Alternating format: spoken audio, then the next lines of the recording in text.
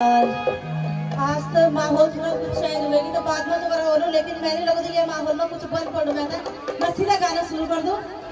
और लिया सबसे पहले भगवान बद्री विशाल को सुमरन और वे का बाद आपका भी इसमें तमाम और गीत बना।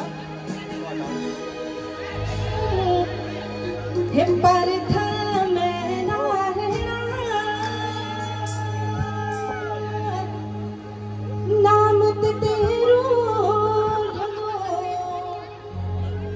मैं पर था